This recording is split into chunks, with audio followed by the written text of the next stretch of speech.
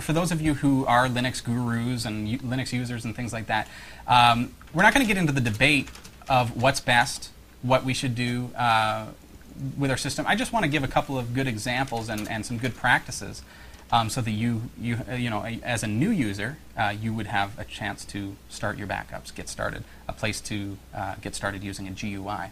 Um, so we are using a software package that's going to be using rsync. And what rsync does to basically put things in lay terms, it's, it's really neat how Linux backups work because last week we were talking about incremental backups and how things can get pretty oversized in a backup. Oh, yes. With rsync uh, in, in Linux, what happens is, is let's say you do a full backup of your documents. So it creates a full copy of all of your documents that are in that folder.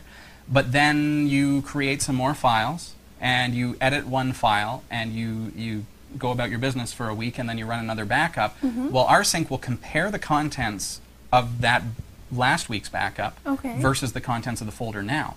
It'll say, okay, these are the files that are different, these are the files that are new, these are the files that have been deleted, and then it will create a brand new backup that contains everything, but the only files that are actually taking up space on your computer are the ones that have been modified or created since the last backup. It's what you call hard links to the original file, so that that first backup that you ran becomes kind of like the base of your Okay. backup tree.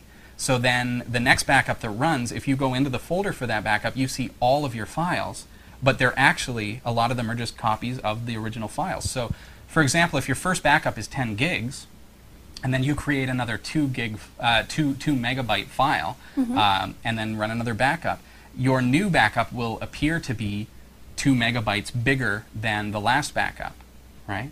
Okay. However, if you look at the space that it's actually using on the disk, it's actually only 2 megabytes being used. Have I lost you? Well, I think I get it that it's not, it's not saving the whole ten megabytes But, again. but to It's you as a, as a lay user, it looks like it is. Like you could copy all those files and, and drag them over. And, it, and I'll, I'll actually demonstrate it on the screen so that you can see it.